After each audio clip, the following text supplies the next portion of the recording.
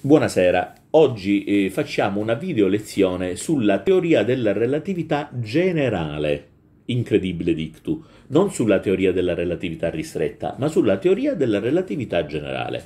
Mm, questo eh, desiderio mi è venuto perché ho visto eh, che, eh, anche gli altri anni in effetti, ho visto che ehm, a molti ragazzi di quinta liceo scientifico eh, eh, anzi in, in, quasi tutte le classi di quinta liceo scientifico si tratta proprio la teoria della relatività e non solo la teoria della relatività ristretta, ma la teoria della relatività generale. Ora, dove sta il problema? Per quanto riguarda la teoria della relatività ristretta, eh, l'apparato matematico è molto semplice e comprensibilissimo in una quinta liceo scientifico. L'apparato matematico invece, della, per un motivo di cui ci renderemo conto fra breve, l'apparato matematico della teoria della relatività generale invece è assolutamente improponibile a livello di liceo scientifico. E ecco eh, che quindi mi mm, è venuta l'idea di fare questo, questa lezione divulgativa sulla teoria della relatività generale comprensibilissima anche a un ragazzo di quinto liceo scientifico. Ma perché questo? Perché l'apparato matematico della teoria della relatività generale, cioè il calcolo tensoriale, sarà da me soltanto accennato. Io parlerò dell'importanza enorme del calcolo tensoriale, ma non eh, descriverò il calcolo tensoriale nel suo dettaglio matematico, che però sarà oggetto della prossima video lezione. Chiaro? Allora, perché Einstein nel 1915 decide di formulare la teoria della relatività generale? Anzi, questa video lezione perché la faccio? Perché la teoria della relatività generale è forse la teoria più bella e più meravigliosa che esista della fisica, la teoria più geniale in assoluto, più della teoria della, della, stessa relatività ristretta, dobbiamo dire, no? ha un'importanza non solo da un punto di vista strettamente scientifico, ma un'importanza anche da un punto di vista generale, da un punto di vista filosofico. Spessissimo è stata travisata, come poi vedremo anche dallo stesso mondo accademico, ma è una cosa di importanza inestimabile eh, per, eh, per qualunque intellettuale non è una cosa importante soltanto dal punto di vista scientifico. Einstein infatti nel 1915 la formula, ben dieci anni dopo aver formulato la relatività ristretta, perché eh, vive eh, due aspetti in particolare della teoria della relatività ristretta come delle vere e proprie aporie. Aporie vuol dire problema irrisolto, un termine di uso filosofico. Quali sono le aporie della relatività ristretta? Il concetto di sistema inerziale, diciamo, è l'eguaglianza fra massa inerziale e massa gravitazionale, due aporie ben precise che vengono risolte genialmente nella teoria della relatività generale. Per quanto riguarda la massa inerziale, eh, eh, per quanto riguarda il primo, cioè ehm, il concetto di sistema inerziale, non è che eh, sia stato Einstein, Einstein praticamente interpreta l'idem sentire di tutti i fisici. Eh, il concetto di sistema Einstein si rifiuta di pensare di dare la patente di primo della classe, di primi della classe ai sistemi di riferimento inerziali rispetto agli altri. Dice: "Ma perché le leggi fisiche devono essere le medesime in tutti i sistemi di riferimento inerziali e tutti gli altri che fanno?" Cioè le leggi fisiche non dovrebbero dipendere dal particolare sistema di riferimento nel quale sono enunciate, ma dovrebbero avere la stessa forma, la medesima forma per tutti i sistemi di riferimento. Ecco la teoria della relatività generale, per tutti i sistemi di riferimento, non solo per i sistemi di riferimento inerziali. Hm? A parte il fatto che poi nessuno ben capisce cosa potevano essere stati questi sistemi di riferimento inerziali, no? Questa stanza il mio studio è un sistema di riferimento inerziale, un laboratorio è un sistema di riferimento inerziale, però altri non sono sistemi di riferimento inerziali. Sul, sul concetto di sistema di riferimento inerziale poi poggiava, e, e, tutti abbiamo vissuto questo come appunto un'aporia, poggiava il concetto di forza apparente. E che cos'è una forza apparente? Lo dice la stessa parola, il concetto di forza apparente ci appare strano, lo dice lo stesso termine, forza apparente, ma la forza c'è o non c'è? Cioè è chiaro che il concetto di forza apparente non può avere diritto di cittadinanza in fisica e il fatto che eh, questo discorso sconvolga Einstein diciamo che può essere compreso. E concetti come la forza apparente, concetti come i sistemi inerziali, dice Einstein, il messaggio eh, che dà alla fisica, devono essere superati.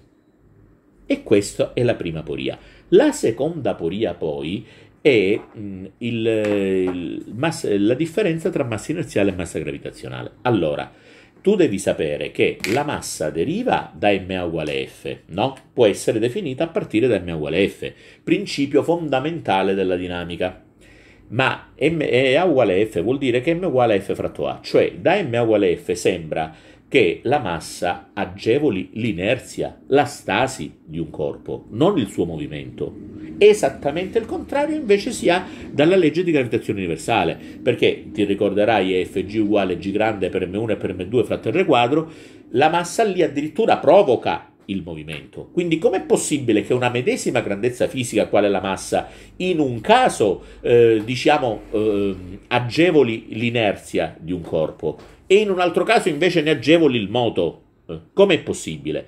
Eppure eh, la massa proveniente dalla legge di gravitazione universale e la massa proveniente dal mio sono misurate sempre dalla stessa grandezza fisica che è la massa. In, laddove, dice Einstein, la massa proveniente dal mio si dovrebbe chiamare massa inerziale, la massa proveniente da eh, G per M1, M2, eccetera, si dovrebbe chiamare massa gravitazionale o massa pesante come dice Einstein nei suoi libri. Ecco, questi sono gli enunciati, eh, le ha due aporie che ora vediamo come vengono entrambe risolte genialmente da Einstein.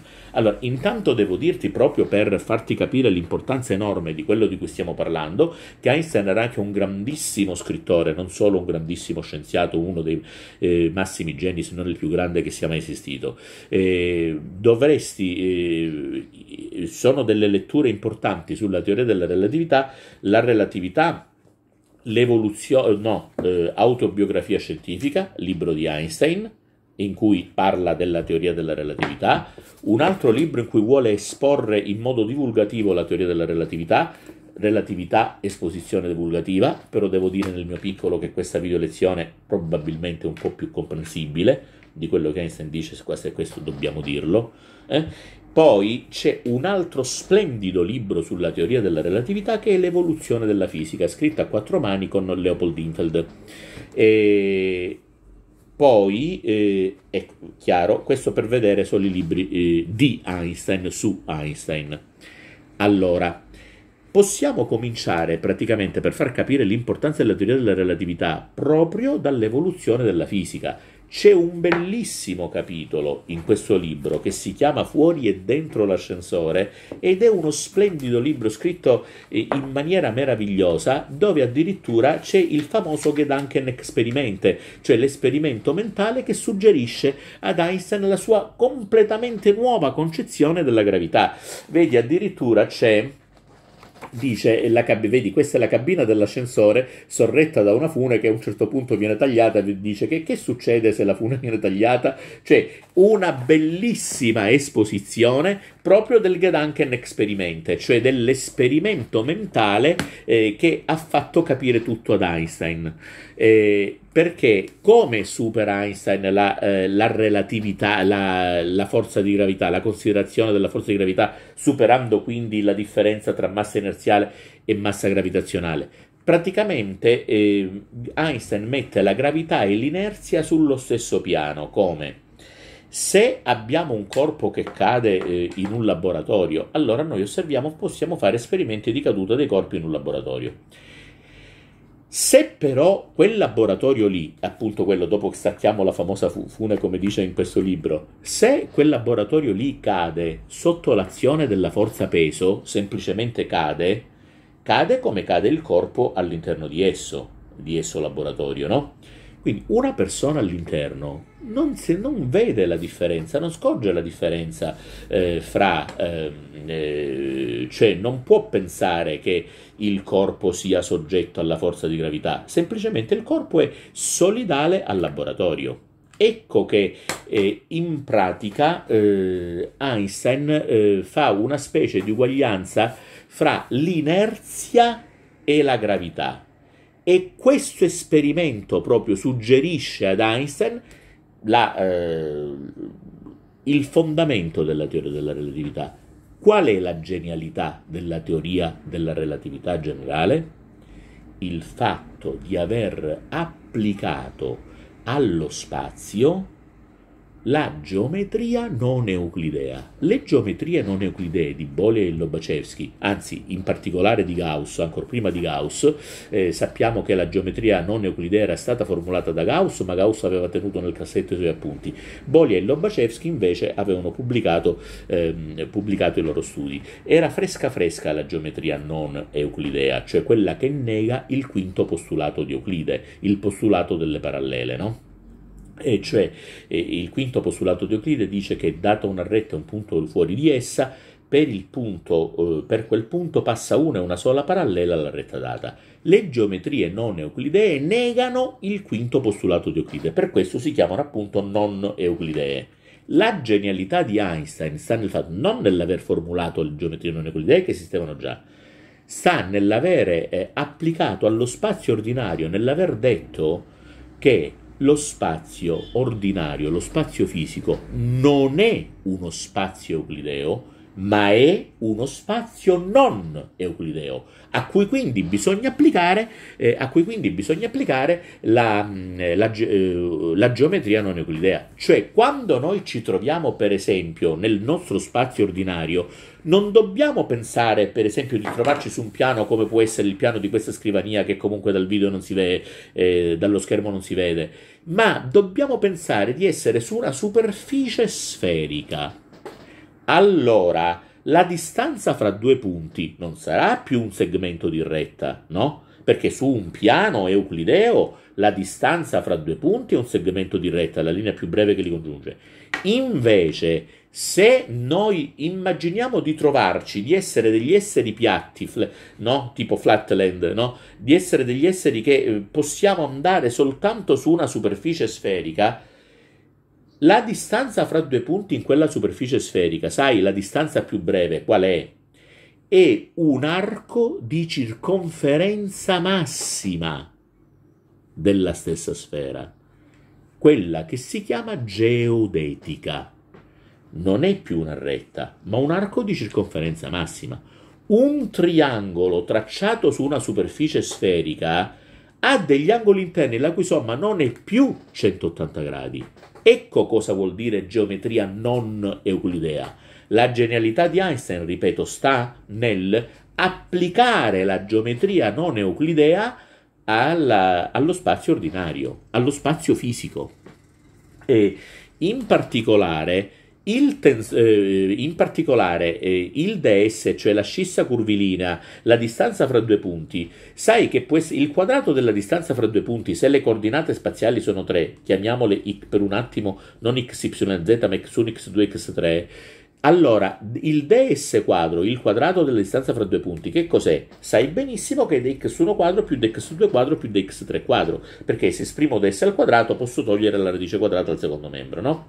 Quindi e il rapporto, il legame che c'è fra ds quadro e dx1, dx2 e dx3 è semplicissimo, deriva dal teorema di Pitagora e dice ds quadro uguale dx1 quadro più dx2 quadro più dx3 quadro. Se lo spazio è non euclideo, è chiaro che le cose si complichino. Il ds quadro dipenderà ancora da dx1 quadro, dx2 quadro e dx3 quadro, ma non nella forma semplice espressa dal teorema di Pitagora. Chiaro? E infatti eh, il ds quadro ai, ai dei xi quadri, dei xi quadro, chiamiamoli in generale dei xi quadri, dove, dei xi quadro dove i può variare fra 1 e 3, il legame fra ds quadro e dxi quadro verrà espresso da un ente matematico che appunto a livello di liceo scientifico non si può esprimere ma che si chiama tensore metrico. È il tensore metrico che ci permette di esprimere il ds quadro in termine dei dxi quadri, dei dxi quadro. Allora, questo ti fa capire che l'apparato matematico della teoria della relatività è sostanzialmente basato sul cosiddetto calcolo tensoriale. Questo è bellissimo per noi. Io sono di Reggio Calabria ed è per me titolo di onore e vanto che Einstein si sia fatto aiutare nella, suo apparato, nella, nella formulazione dell'apparato matematico della teoria della relatività da tre eh, diciamo da tre matematici, eh, grandissimi matematici italiani che sono Ricci, Levi Civita e Curbastro. E come meridionale ci fa, o come meridionali ci fa onore che uno di questi tre matematici sia il professor Tullio Levi Civita.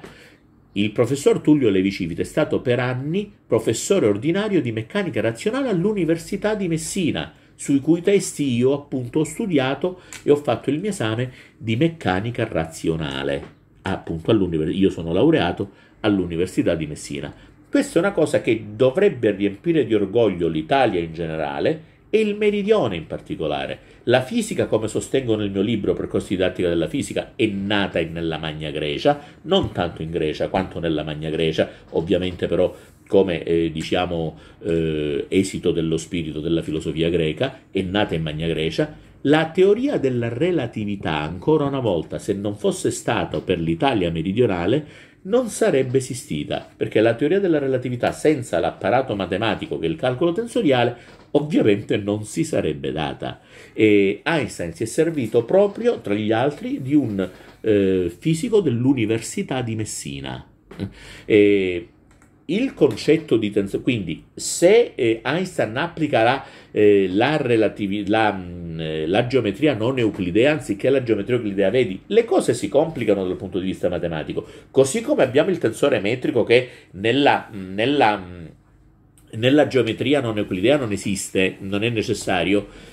E se dobbiamo parlare di curvatura, è chiaro che le cose si complichino perché Vedi, la curvatura, un ragazzo del liceo scientifico sa che la curvatura è uno scalare, è semplicemente un numero direttamente proporzionale alla derivata seconda. Nello studio delle funzioni, per esempio, è dalla derivata seconda che noi vediamo se curva una, che se una curva gamma di equazione y uguale f di x ha la concavità rivolta verso l'alto o verso il basso, no? Ed è uno scalare direttamente proporzionale alla derivata seconda eh, della funzione y uguale f di x se lo spazio, ma questo succede nel piano addirittura, eh, può succedere per una superficie anche lo stesso perché possiamo parlare di una curvatura di una superficie tridimensionale, ma sempre nello spazio euclideo. Se dallo spazio euclideo dobbiamo andare allo spazio non euclideo, allora il, la scala al fattore, il trait d'union fra spazio euclideo e spazio non euclideo è proprio il concetto di tensore. Infatti, nella teoria della relatività noi non possiamo parlare di curvatura, ma di tensore di curvatura. Non dobbiamo parlare di densità di massa ed energia, ma di tensore di, di massa e energia, che è proprio questo il tensore di Ricci, il tensore esplicitamente formulato per la teoria perché Einstein potesse eh, esporre la sua teoria della relatività generale. Eh, il calcolo tensoriale ovviamente esisteva già da prima, Ricci eh, elabora il tensore di Ricci in particolare eh, proprio perché Einstein potesse andare avanti nei suoi calcoli, nella sua teoria, nell'elaborazione della sua teoria. Quindi parliamo di curvatura nello spazio euclideo, dobbiamo parlare di tensore di curvatura nello spazio non euclideo eh, di densità di massa ed energia nello spazio euclideo, tensore di densità di massa ed energia nello spazio non euclideo. E allora vedi, quindi l'apparato matematico si complica, però noi possiamo dire che l'equazione di campo che contiene dei tensori nella teoria della relatività generale a livello elementare possa essere volgarizzata, possa essere espressa da una formula molto semplice. C uguale G fratto C quadro per ρ dove C è la curvatura, quindi non parliamo di tensori di curvatura, no? È la curvatura. E G è la costante di gravitazione universale, quindi come vedi Einstein non sconfessa Newton, no? anzi ne usa la costante di gravitazione universale. G fratto C quadro, C quadro è il quadrato della velocità della luce, e ρ è la densità di materia. Quindi l'equazione di campo, anche se volgarizzata, anche se non corretta, eh, perché non c'è il calcolo tensoriale, però ti fa capire, se è vero che C è uguale a G fratto C quadro per ρ, che Einstein pensa alla curvatura dello spazio come direttamente provocata dalla densità di materia, dalla materia presente. Quindi, vedi, considera la forza di gravità in maniera completamente, e genialmente, completamente diversa Ecco come supera il gap fra massa inerziale e massa gravitazionale. Eh, perché che cosa dice? Eh, immagina un telone eh, fissato, tipo i, i, teloni del circo no? che utilizzano gli, gli acrobati, no? fissati all'estremità. Se eh, il telone è a riposo, tu lo vedi dritto, no? orizzontale. Se invece poggi una pietra all'interno, eh, al centro del telone, il telone si incurva. Quindi se vai a mettere un'altra pietra, magari più piccola, un altro sasso un po' più piccolo all'estremità del telone, vedrai che dalla curvatura del telone il sasso più piccolo viene portato verso il sasso più grande. Ecco cos'è la gravità secondo Einstein, è una proprietà dello spazio-tempo. La forza di gravità provoca la curvatura nello spazio-tempo e quindi eh, essa è un effetto della curvatura dello spazio-tempo. Questo effetto telone è stato espresso per la prima volta da un altro grandissimo fisico con eh, eccezionali doti di divulgatore che è eh, Sir Arthur Eddington, era Sir. Eh? Arthur Eddington nel suo meraviglioso Spazio, Tempo e Gravitazione, altro libro che io ti suggerisco eh, di ascrivere eh, alla tua eh, biblioteca, alla tua libreria personale. È importante che pe- lui per la prima volta ha parlato di questo effetto telone, ma l'effetto telone ci fa comprendere benissimo proprio questo discorso della gravità come effetto, come effetto della curvatura dello spazio-tempo. I contemporanei di Einstein non hanno capito nulla della teoria della relatività. È importante dire, è importante che tu sappia che Einstein ha preso sì il premio Nobel per la fisica, ma l'ha preso nel 1921 per la teoria dell'effetto fotoelettrico e l'elaborazione del concetto di fotone. Eh, 1905. Eh, eh, le, il, il premio Nobel per l'effetto fotoelettrico gliel'hanno dato, ma ben 16 anni dopo perché il mondo accademico, bontà sua, ha voluto 16 anni per capire quello che Einstein andava dicendo sull'effetto fotoelettrico. Per la teoria della relatività Einstein non ricevette nessuna, nessun riconoscimento in vita. Infatti gli, gli esperimenti più importanti che eh, hanno eh, validato la teoria della relatività dal punto di vista sperimentale sono cominciati nel 1960, intorno al 1960, ben cinque anni dopo che Einstein era già morto. Ma Einstein per la teoria della relatività, ristretta o generale che sia, non ricevette in vita assolutamente nessun riconoscimento Premio Nobel sì, ma per l'effetto fotoelettrico è dato con 16 anni di ritardo. Il, mo- il, mondo accademico, vedi, poi certe volte si critica a Hitler che parlava della teoria della relatività come fisica ebraica. Eh, il problema non era Hitler, perché eh, i più grandi matematici e fisici del tempo hanno irriso la teoria della relatività.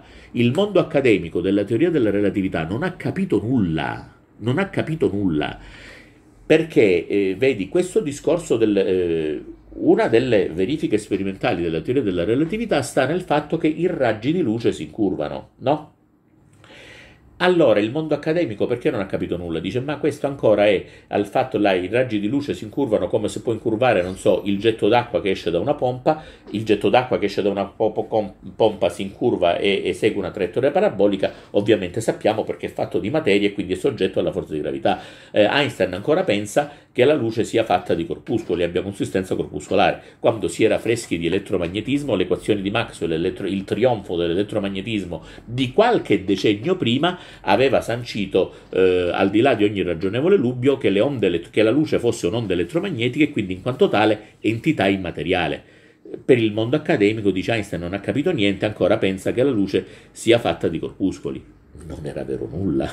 La luce si incurva non perché è fatta di corpuscoli o perché abbia consistenza corpuscolare, ma perché segue la curvatura dello spazio. Quindi, come vedi, eh, Ecco, eh, il fatto di dire che non so, per esempio, che la Chiesa abbia, eh, abbia, sempre arrestato lo sviluppo della scienza è una grandissima idiozia, perché è più il mondo accademico, semmai, che ha arrestato lo sviluppo della scienza. In particolare, in questo caso, ha fatto sì che il povero Einstein in vita non avesse alcun riconoscimento per la teoria della relatività. Quindi, dal, eh, devo dirti che la teoria, concludiamo questa lezione se abbiamo capito eh, la curvatura come effetto della densità di materia, con l'effetto telone, questo si può capire subito. Eh, ti ricordo che eh, C uguale G fratto C quadro per ρ è una volgarizzazione, eh? eh, una legge diciamo della, che esprime la, l'equazione di campo della teoria della relatività, però per um, un po' per bambini, no? Non è perché nell'equazione di campo della teoria della relatività è espressa tramite il calcolo tensoriale. Calcolo tensoriale che a livello di eh, liceo scientifico assolutamente noi non proponiamo, però il significato è quello quello espresso dalla formula eh, C uguale G fratto C quadro per ρ. Chiaro? Con, possiamo concludere dicendo che la teoria della relatività è importantissima anche dal punto di vista filosofico, da un punto di vista di, natura, eh, di carattere completamente generale, perché cambia proprio il modo di vedere, eh, cambia genialmente il modo di vedere la fisica e questo è importante anche dal punto di vista filosofico. Eh, ci fa vedere che una medesima realtà, quale per esempio la gravitazione universale, può essere vista in maniera completamente diversa. E ti voglio lasciare anche con, eh, dunque, eh, in, dicendo, mettendoti una pulce nell'orecchio. Praticamente noi abbiamo sempre sentito dire eh, che la teoria di Aristotele, sulla te- la teoria dei luoghi naturali di Aristotele, eh, sia una, una sciocchezza, no? perché diceva eh, la teoria dei luoghi naturali, no? i corpi pesanti vanno verso il basso perché la loro sede naturale è quella, invece i corpi leggeri vanno verso l'alto perché la loro sede naturale è quella. Teoria dei luoghi naturali. Poi, chiaramente, Newton con la sua legge di gravitazione universale ha eh, visto il problema in maniera completamente diversa.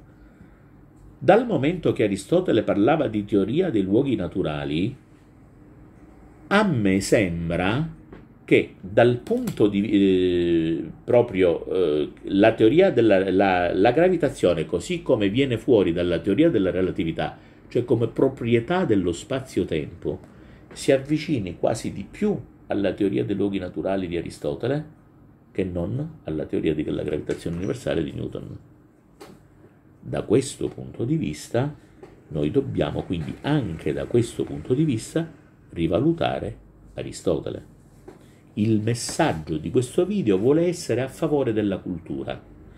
Non solo la teoria della relatività è importantissima anche per la filosofia, ma è la filosofia che è stata importante per la teoria della relatività.